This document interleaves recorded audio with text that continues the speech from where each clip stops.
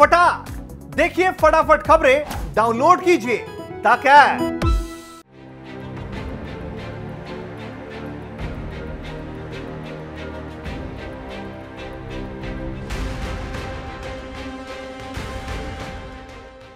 हिंदुस्तान की समुद्री सीमा का सबसे बड़ा रक्षक, देश का पहला made in India aircraft carrier, INS Vikrant, जिसके पहरे में सालों साल महफूज रहेगा देश। आज से विक्रांत ने एक बार फिर संभाल ली है नौसेना की कमान। विक्रांत के जंगी बेड़े में शामिल होने के साथ ही समंदर में न सिर्फ़ भारत की ताकत में इजाफा हुआ है, बल्कि दुनिया के उन पाँच शक्तिशाली देशों की फहरिस्त में भारत शुमार हो गया है, जो चालीस हज़ार टन का एयरक्राफ्ट कैरियर बनाने की क्षमता रखते हैं। अमेरिका, रूस, चीन, फ्रांस और इंग्लैंड के बाद अब भारत ने ये कमाल कर दिखाया। विश्व की पांचवी बड़ी नौसेना, भारतीय नौसेना की ताकत विक्रांत के आने से कई गुना बढ़ गई है। विक्रांत की ताकत को जानने के बाद आपको अंदाज़ा हो जाएगा कि आखिर क्यों इसे हिंद महासागर के लिए गेम चेंजर माना जा रहा। जंग के मैदान में गेम चेंजर विक्रांत इस युद्धपोत पर एक साथ एक हज़ार सात सौ नौसैनिक तैनात किए जा सकते हैं। विक्रांत पर एक साथ तीस फाइटर एयरक्राफ्ट तैनात किए जा सकते हैं। इसमें से 20 लड़ाकू विमान और 10 हेलीकॉप्टर होंगे। इस पर मिग 29 के और दूसरे हल्के लड़ाकू विमान भी तैनात किए जा सकेंगे। फ्रांस के रफाल और अमेरिका के एफ़ अठारह हॉर्नेट लड़ाकू विमान को तैनात किया जाएगा।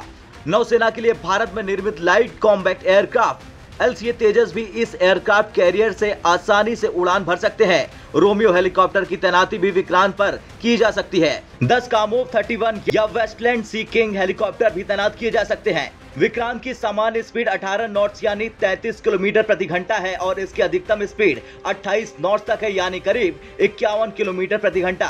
ये एक बार में 7,500 नॉटिकल मील यानी 13,000 किलोमीटर से भी ज़्यादा दूरी तय कर सकता है। यानी एक बार इसने भारत से कूच किया तो ब्राज़ील तक पहुँच सकता है। इस पर तैनात फाइटर जेट्स भी एक दो हज़ार मील की दूरी तय कर सकते हैं।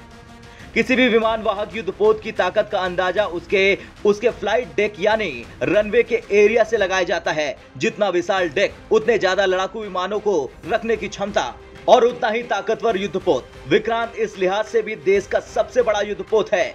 विक्रांत की विशालता का अंदाज़ा इसी से लगाया जा सकता है कि यह अपने आप में एक तैरता हुआ गाँव है। विक्रांत का वज़न पैतालीस हज़ार टन है। इसकी लंबाई दो मीटर, यानी दो फुटबॉल ग्राउंड से भी बड़ा है और चौड़ाई बासठ मीटर है। इस युद्धपोत का कुल क्षेत्रफल, यानी एरिया 2.5 एकड़ का है। विक्रांत में 14 फ्लोर हैं, जिनमें 2300 कंपार्टमेंट बनाए गए हैं।